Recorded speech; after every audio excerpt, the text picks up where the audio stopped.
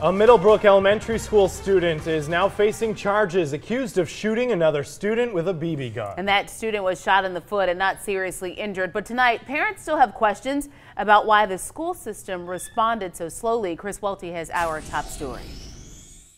I am calling to inform you that a student was in possession of a BB gun today on campus.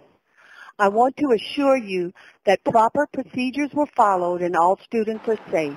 That voicemail came from Middlebrook Elementary's principal hours after the incident. The school only messaged parents that a BB gun was on campus. It was almost 24 hours later when police told KATC a shot was fired. I didn't have the knowledge that shots were fired, and that's a very scary thing in today's age. Elizabeth Workman has two students at Middlebrook.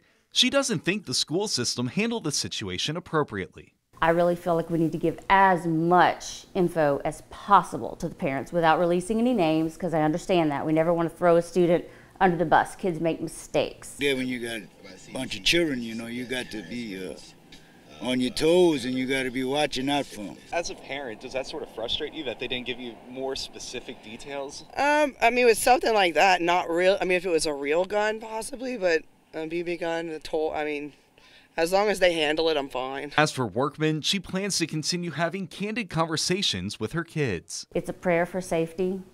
It's a reminder to tell anything that you hear that might hurt someone else.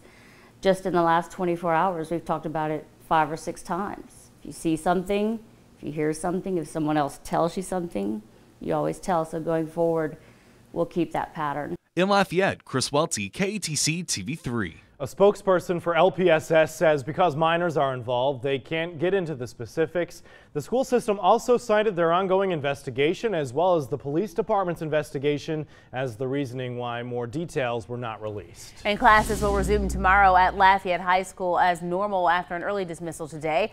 A bomb threat was sent to the school. The school was swept and the all clear was given. This is the third uh, bomb threat at Lafayette High in the past two months. Here's Rob's 24 hour forecast.